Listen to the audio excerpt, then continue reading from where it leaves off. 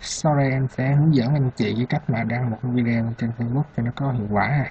Đây là cái giao diện fanpage Facebook của công ty hóa đơn điện tử Trung Kiên.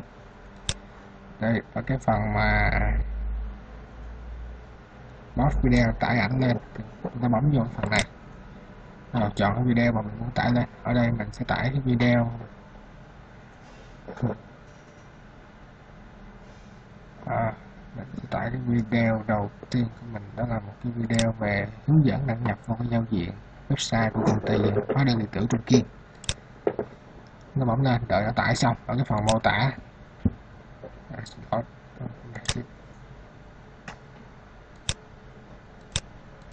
cái phần mô tả thì mình đặt, ở cái phần à, tiêu đề của video thì mình đặt tên của video và đây, video này là hướng dẫn đăng nhập.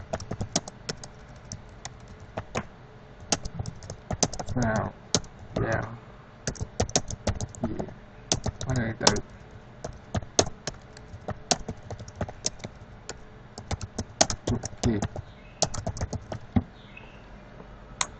ở cái phần mô tả video thì anh chị à, đặt phần mô tả vào đây thì mình soạn, sẵn rồi. Sau đó mình copy bỏ qua. Cố gắng là mình để được cái à, link của website mà là link sống nha. Để để được link sống thì mình chịu khó mình vào website của mình lên website của mình đường link thế này. Mình gõ enter một cái cho nó hiện ra website rồi mình hãy copy. Còn nếu mình mà mình gõ bằng tay vào hoặc là mình copy một cái link mình để sẵn nó thì đôi khi nó không có hiện lên là link chết thì cũng không có hiệu quả. Copy. Bỏ qua. Khi mình để một cái link mà của website mình nó trỏ về cái website của mình thì khi đó nếu có một cái sự tương tác hoặc một cái link vào cái bài đăng có cái website trên Facebook thì nó vẫn tính là có một lượng truy cập và tương tác với website của mình nhé. Đối với các website mà à, mới thành lập chưa có cái thứ hạng trên uh, Google hoặc chưa có các thứ hạng mà những công cụ đánh giá. Mà dẫn sau sử dụng thì mình nên dùng cái cách này để mình kéo lên. Theo mình check in đó để người ta biết là về cái fanpage của mình ở đâu. Thực tế cái này là chỉ có giá trị để người khác nhận biết về cái à, thương hiệu của mình về cái fanpage của mình về website của mình thôi. Chứ nó cũng chẳng có giá trị gì trên Facebook cả. À, anh chị có thể đặt những sticker như mặt trời ngôi sao hoặc những cái gì đó nổi bật lên trên này. Mà mình thì mình muốn là đây là hiệu quả tương tác website với lại cái phần tiếp cận thôi. Rồi còn cái phần thẻ này bắt đầu mình sẽ đặt những cái thẻ tương tự như mình làm sale trên uh, Google hoặc là trên uh, những website sử dụng nền tảng viết web thông thường. Đây sản phẩm của công ty mình là hóa đơn điện tử mình sẽ để từ khóa đầu tiên là hóa đơn điện tử.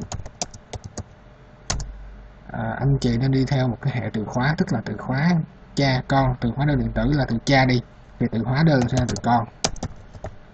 Là hóa đơn điện là hóa đơn điện tử.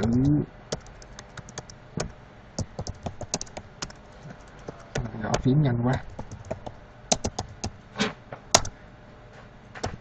Giá rẻ. Hóa đơn điện tử, chất lượng.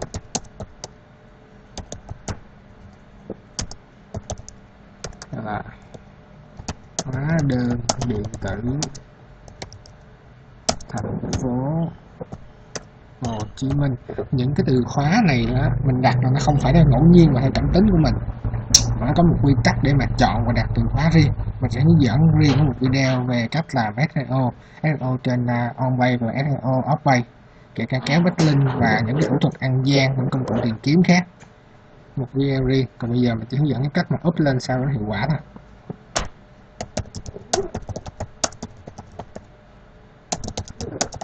Điện tử thủ đức hóa đơn điện tử quận 2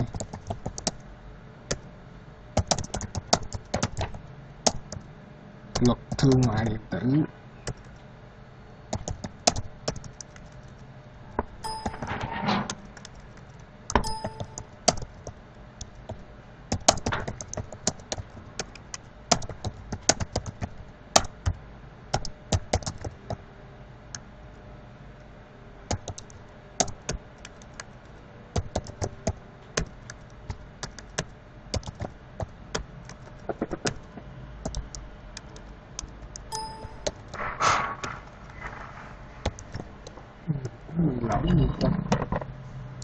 Tra lại xem là tiếng Anh.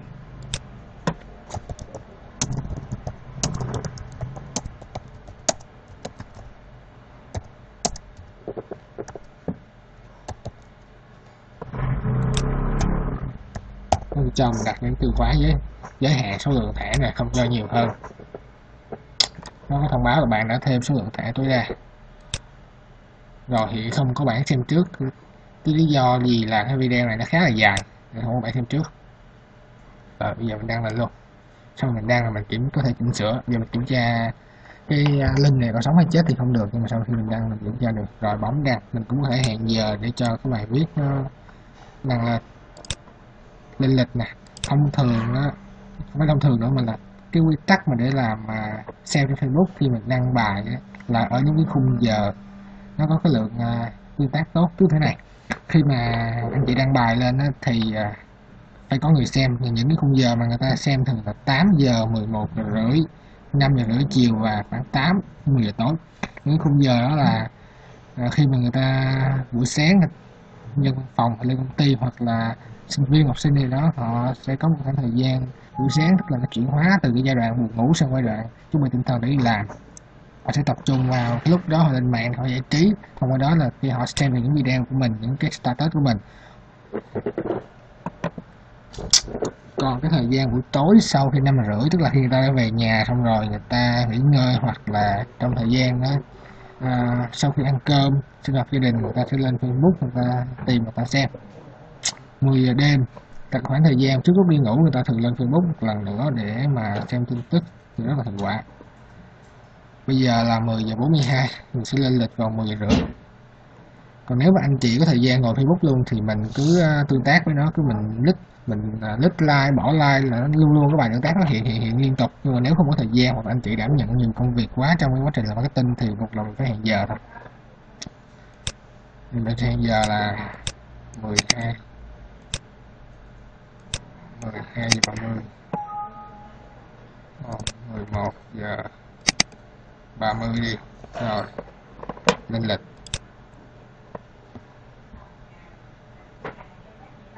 Sáng rồi. Cảm ơn anh chị đã xem video này ha.